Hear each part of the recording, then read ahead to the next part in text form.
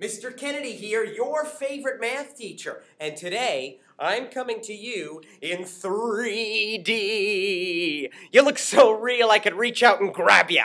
Who's ready to do some mathematics? We've got a great lesson for you today, so put on your thinking caps and you do the math.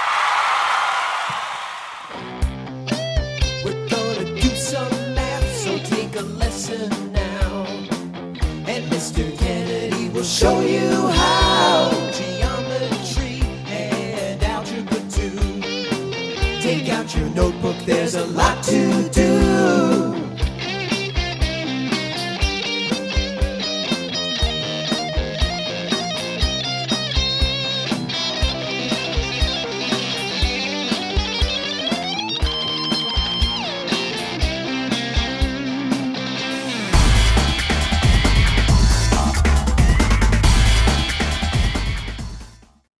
All right, we're going to start with some important vocabulary that's a little more advanced than the undefined terms. So it's a good idea to pause this frame and copy these terms into your notebook. Make sure you really know them well.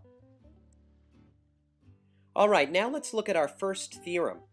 If I start with two lines, and I draw a line that's perpendicular to both of them at their point of intersection, that's the blue one, it's also perpendicular to the plane created by the red and yellow line.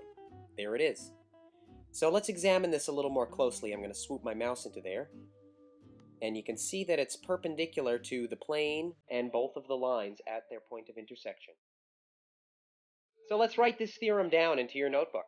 Feel free to pause. Hope you like math, because there's plenty more where that came from. Alrighty then, here's our second theorem. If you take a point and a line, there is one and only one plane that goes through the point that's perpendicular to the line. There it is. Let's take a look around.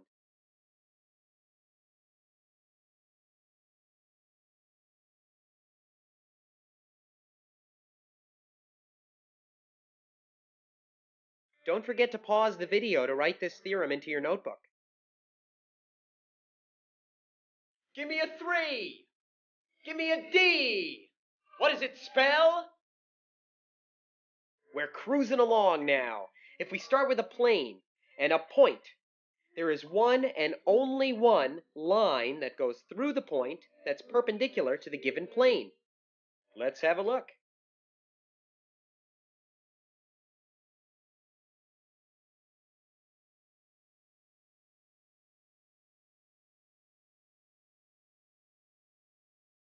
You know what to do. Pause and notebook. What's the point of geometry, you say?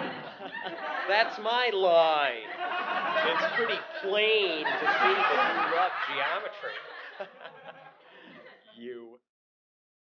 I love this theorem. It says that if you have a plane and two lines that are perpendicular to the plane, that those two lines are coplanar meaning they lie in the same plane. What do you think?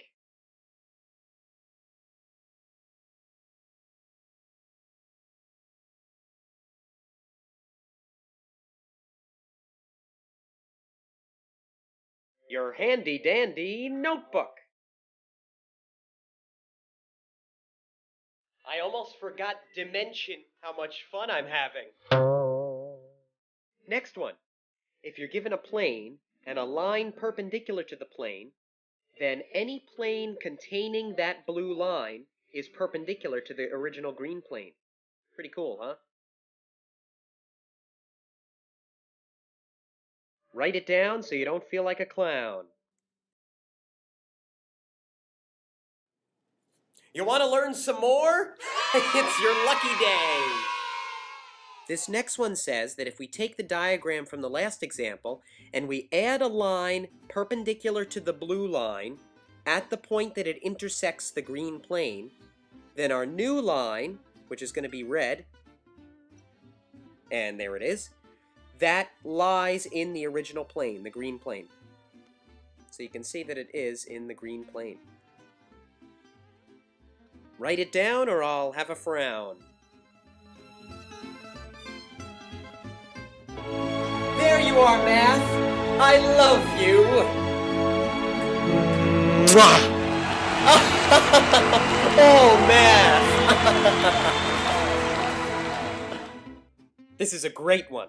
If you start with two parallel planes, and you intersect those with any other plane, so it's almost like a transversal, then the intersection is two parallel lines. So there's one line, and there's the other. And those are right where that orange plane intersects the two parallel planes. Now remember, for lines to be parallel, they have to be coplanar. So let's just double check that the magenta and blue lines are in fact coplanar. All right, we better write this one down. Hey, this math stuff is not so bad. It's pretty easy, like anybody can do. Last one. If you have a line that's perpendicular to two planes, then the planes are parallel to each other. I think that one makes a lot of sense.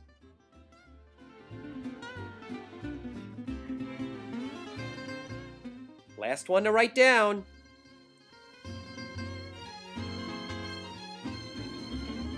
Totally, dude. I love math. After I go surfing, I'm totally gonna calculate some Pythagorean theorems. Know what I mean, brah?